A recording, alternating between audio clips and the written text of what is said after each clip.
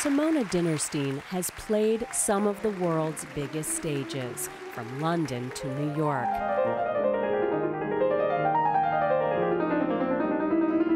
And she's released two critically acclaimed number one albums.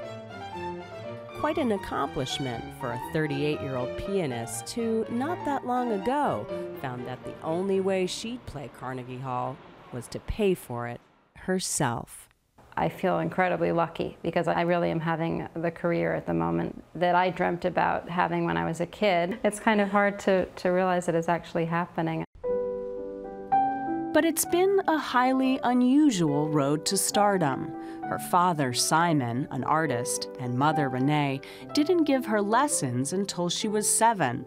A late start by classical music standards. I remember her saying to me that when I grow up, I want to be a solo pianist and I want to play on the New York stage. And I remember thinking, oh, my daughter is in for so much pain. Mom was right. Long hours of practicing isolated Dinnerstein from friends and often left her lonely.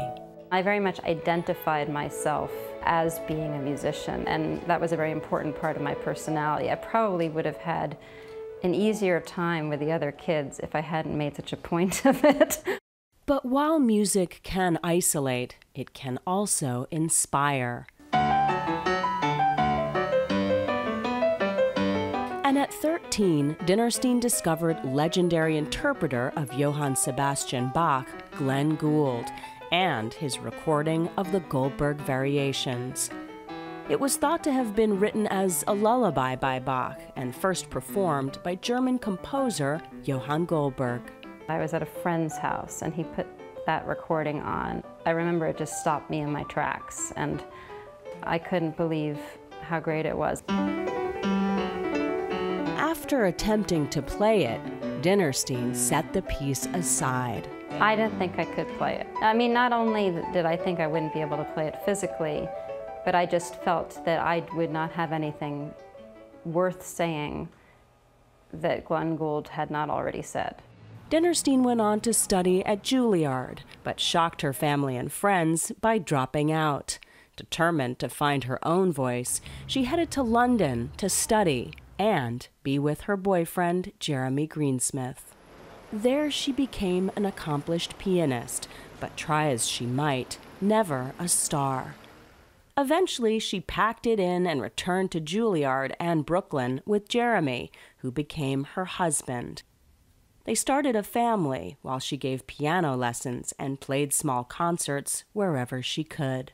You've played in retirement homes, you've played in a prison. Mm-hmm. You and didn't play your 90 minute Goldberg. I didn't play the Goldberg variations.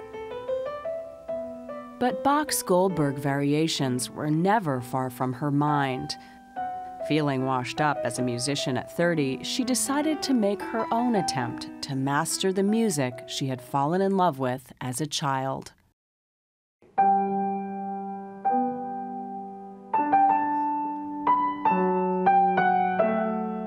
What do you love about it most? It's almost not like a piece of music. I mean, it's almost like um, a meditation. You are really taken to a different place, and, and it's actually the same feeling to play it.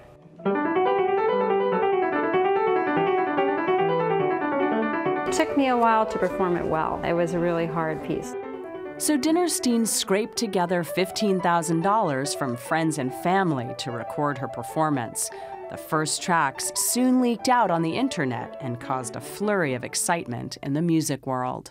I thought that this was just really gutsy and really cool. And David Patrick so Stearns is the music critic at the Philadelphia Inquirer and was at the recording sessions. Her Goldbergs really take you on a journey. The most important thing is she takes you on her journey. She doesn't take you on Glenn Gould's journey. It's all hers. With the recording in hand, Dinnerstein had her own ideas about what to do next.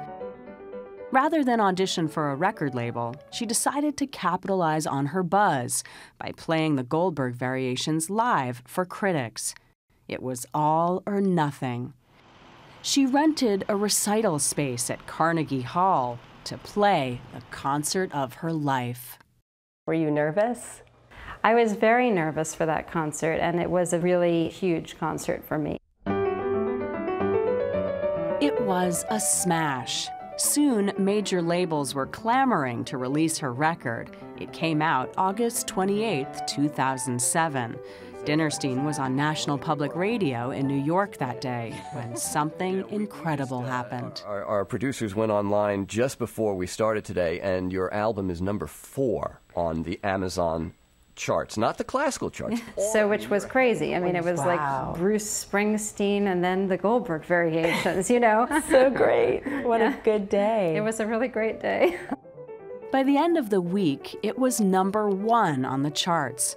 Concert requests poured in, and by year's end, Dinnerstein's record was on numerous prestigious top 10 lists. Even Oprah took notice. I kind of couldn't believe it. I, I really couldn't. I don't know how they got that disc to do what it did. I really don't. But I was glad to see that it happened. And it happened again, a year later, with a number one record of a live concert in Berlin.